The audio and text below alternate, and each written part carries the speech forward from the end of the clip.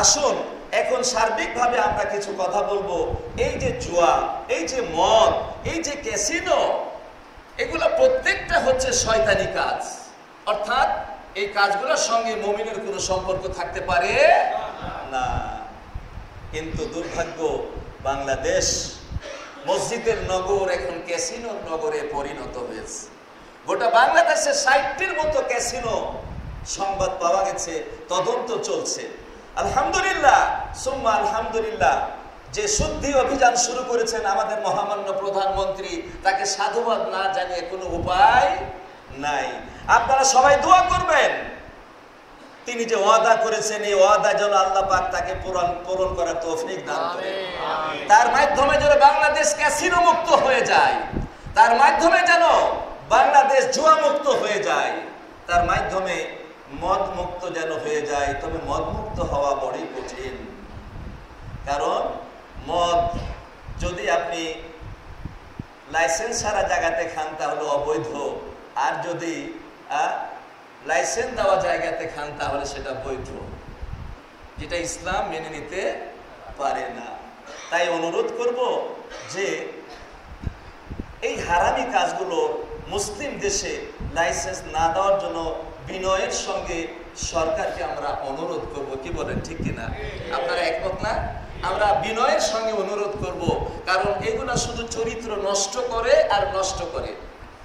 আসুন, আল্লাহ রাবুল আলমী সুরা মায়দার নব্বই এবং একানব্বই দুই, দুটি আয়াত পাঠ করেছি। এই দুটি আয়াতের দিকে আমি এগিয়ে যাই। এই যে জুয়া, এই যে মদ, বিশেষ করে মদ, আরবে এত প্রিয় খাবার ছিল যে এই মদকে হারাম করা বড় কঠিন ছিল। তাই আল্লাহ রাবুল আলমিন এই মদকে তিন ধাপে হারাম করেছেন। মদকে তিন ধাপে হারাম করেছে। কারণ সেই আইয়ামে জাহিলিয়া রসুলাম যে সময়তে আরবে আবির্ভাব তার ঘটলো, ওই সময়তে মদের ছড়াছড়ি এত বেশি যে যে কোনো খাওয়ার পরে মদ খাবে না, এটা ভাবাই যায় না। মদের একটা অনুষ্ঠান থাকবেই থাকবে। সম্মানিত উপস্থিতি।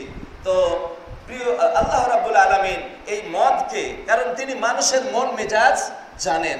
তাই কখন, কোনটা কীভাবে এটাকে বন্ধ করতে হবে সবচেয়ে কে জানেন? আল্লাহ রব্বুল আলমিন। তাই এক সমাতে অমর ফারুক রাজি আল্লাহ তালা আনহ কয়েকজন সাহাবি নিয়ে বিশ্বনবী মোহাম্মদ সাল্লাহ সাল্লামের কাছে গেলেন। গিয়ে বললেন, ইয়া রাসুলাল্লাহ, মদের কিছু ক্ষতিকারক দিকগুলা তিনি তুলে ধরলেন। মদের ক্ষতিকারক দিকগুলি তিনি তুলে ধরলেন।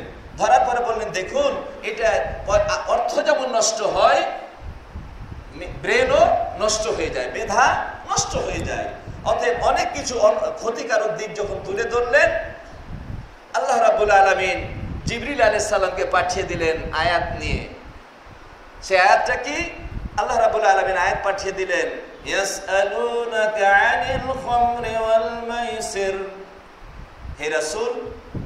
আপনাকে তারা জিজ্ঞাসা করে মদ এবং জুয়া সম্পর্কে। মদ এবং জুয়া সম্পর্কে আপনাকে জিজ্ঞাসা করে। আপনি বলে দিন, এর মধ্যে মহাপাপ মহাফরাদ অমানাফেউল্লিনাস তারপরে বলছেন যে কিছু মানুষের জন্য উপকারিতাও রয়েছে।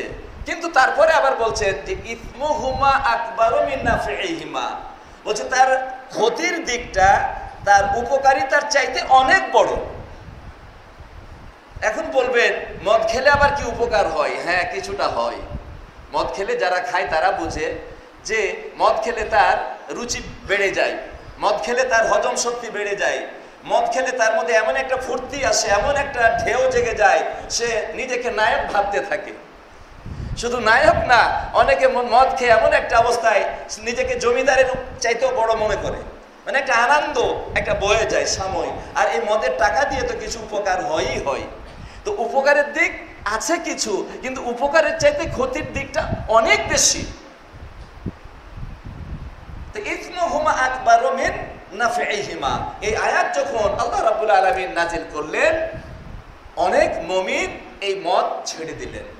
কিন্তু যেহেতু তখনও মদ কি হয়নি, হারাম ঘোষণা হয়নি, একেবারে বন্ধ হয়নি, তখনও কিছু মানুষ চালিয়ে যেতে লাগলেন। এরপরে আব্দুর রহমান বিন আউফ, এটা হলো প্রথম ধাপ, দ্বিতীয় ধাপ। আব্দুর রহমান বিন আউফ তার বাড়িতে কিছু আনসারি সাহাবিকে দাওয়াত দিলেন। খাওয়া দাওয়ার পরে মদ পরিবেশন করা হলো। মদ পান করে সুরামত্ত অবস্থায় মাগরিবের আজান হয়ে গেল। আজান হয়ে গেল। আজান হলো তো আজান মাগরিবের নামাজ তো দেরি করার কোনো সুযোগ নাই। একজন নেশাগ্রস্ত অবস্থায় ইমামতি করতে লাগলেন। এবং সুরা ফাতিহা পাঠ করার পরে, কুল ইয়া আইয়ুহাল কাফিরুন, এই সূরাটা পাঠ করলেন। এবং পাঠ করতে গিয়ে ভুল করে দিলেন। লা বললেন যে, আ'বুদু মা তা'বুদুন। অংশটা হলো যে, তোমরা যাদের ইবাদত করো, আমরা তার ইবাদত করি না। কিন্তু লা বাদ দেওয়ার কারণে হয়ে গেল কি? তোমরা যাদের ইবাদত করো, আমরাও তাদের ইবাদত করি। একবারে বিপরীতে চলে গেল। এই অবস্থা যখন ঘটলো, আল্লাহ রবুল আলমিন আবার আয়াত পাঠিয়ে দিলেন জিবরুল আলাইসালের মাধ্যমে। يا أيها الذين آمنوا لا تقربوا الصلاة হে মমিনেরা তোমরা নেশাগ্রস্ত অবস্থায় নামাজের ধারে কাছেও যাবে না হাত্তা তা'লামু মা তাকুলুন যতক্ষণ না তোমরা কি বলছো এটা না বুঝতে পারো এখানে একটু খেয়াল রাখবেন যদিও এটা নেশাগ্রস্তে নেশার ব্যাপারে আয়াতটা নাজিল হলো কিন্তু এখানে একটা বিষয় আরও খেয়াল রাখতে হবে, যে নামাজের নিকটে যাবে না নেশাগ্রস্ত অবস্থায়। উদ্দেশ্যটা কি? উদ্দেশ্য হচ্ছে যে নেশাগ্রস্ত অবস্থায় তোমরা যা বলো, তা তোমরা বুঝো না। তোমরা যা বলো, তোমরা তা বুঝো না। তো আপনি যা সালাতে বলবেন, তা আপনাকে বুঝতে হবে এটা জরুরি। কিন্তু আমরা মমিন, মুসলমান যারা সলাত আদায় করি কয়জন সলাতে যাব, পড়ি, তা কয়জন আমরা বুঝি? অবশ্যই, এই আয়াত থেকে অনেকে এটাও অর্থ নিয়েছে, আপনি যখন সলাতে দাঁড়াবেন, আপনাকে বুঝে সলাত আদায় করতে হবে।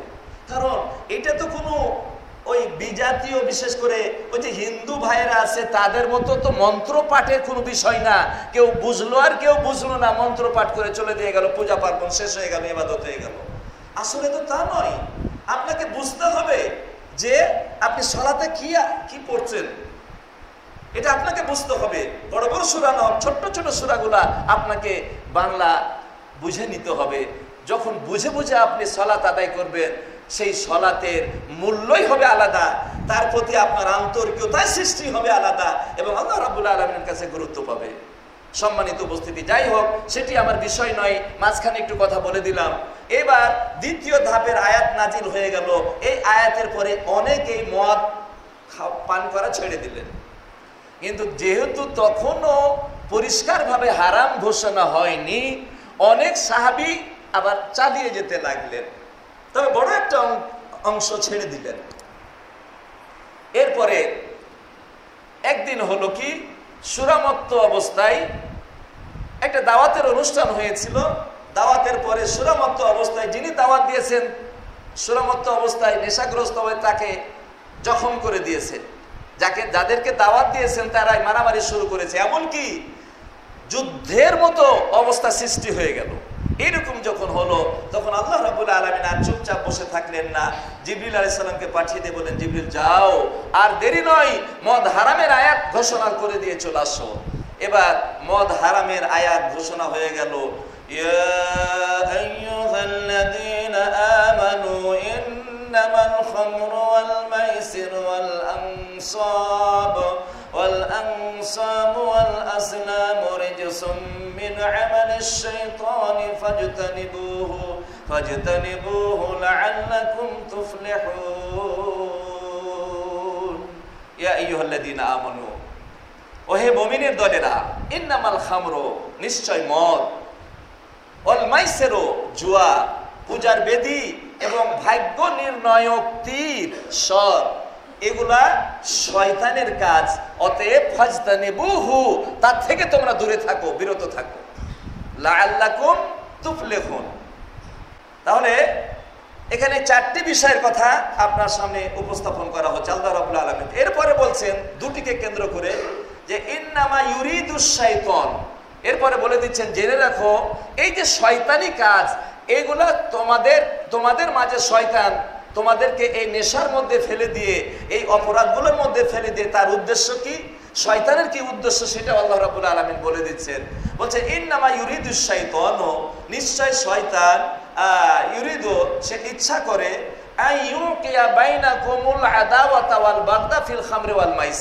বলছে, মদ এবং জুয়ার মাঝে শত্রুতা এবং বিদ্বেষ এবং হিংসা তোমাদের মাঝে ছড়িয়ে দিতে চাই।